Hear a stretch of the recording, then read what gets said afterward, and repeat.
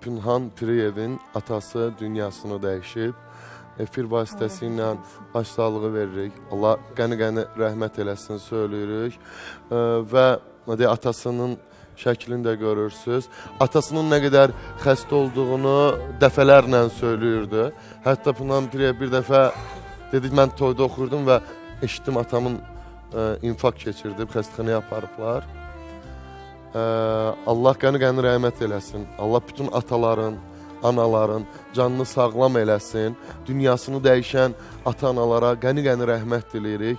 Doğrudan da çox çətin andır, çünki çox cavandır gördüyünüz kimi də ə, Pünhanın atası doğrudan da bu yaşda, özdə bu anda 25 yaşı var mən bildiyim qədər ə, Pünhan Piriyevin.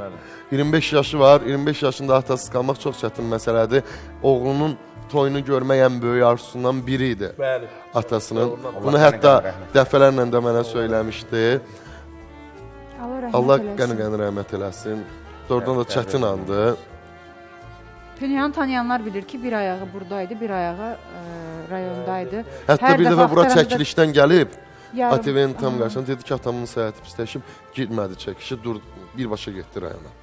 Bu yaxınlarda olub. Heç biz Allah efirdən rəhmət eləsin. söyləmədik. Allah anasına can sağlığı versin. Pünhana da bundan sonra biraz daha çox yük düşəcək. Çünki artıq atasının da yerinə belə deyək, ailəyə başçılıq eləməli olacaq. Pünhan. Zaur, əgər Allah səbir versin. icazə Allah versən, mən də Allah rəhmət eləsin Və sizin ona deyirəm. çox böyük dəstəyiniz Bəli, olub bəli, bunu mən də şahid olmuşuq, Pünhan da söylüyor. olub, hər dəqiqə yanımda olub. Əgər mənə icazə versəydin, tamaşaçılardan da, səndən də üzr istəyib, çünki mən dəfinə çatdırmalıyam. Çünki xəbər gəldi ki, saat 2-də dəfn olacaq. Mən mütləq Pünhanın Rayona Hə. hə. İcazə versəydiniz, Onda bu tərk ə, eləyərdim. reklam blokuna çıxanda sizi Hacı Qabuldadır, Hə, Hacı Qabulda. Hacı Qabuldadır. Bəli. Hə, siz yola salarıq reklam vaxtı ən azından. Amma bir ifa istəyərik sizdən. Elə o yeni mahnı təkrar olsa da, çünki yerinə düşür. Bəli. O mahnı Mən elə öləndə. Hə. İcazə versəniz oxuyardım. Bəlkə bir canlı ifa sonra mı onu eşidək? Yox, canlı oxuyamayacağam. Çünki Çünki əhval Manaf bəyin Bayaq oxudum da canlı gördülər səsim var. Yox, əstəğfurullah, səsinizin olmamamağına görə söyləmədi Ayşə. Sadəcə olaraq ə, Manaf bəy ə, ən böyük dəstəklərinin birini Pünhana edib. Hətta özü ilə bərabər toylara aparıb. Hətta özünün özünə toy gəldiyi zaman, həmin zaman toyu varsa, deyib ki, bax Pünhana aparın. Bunun çünki şahid olmuşam mən. Deyim mən zəmanət Yox, verirəm. Pünhan sözün əsl mənasında çox istedadlı olandır.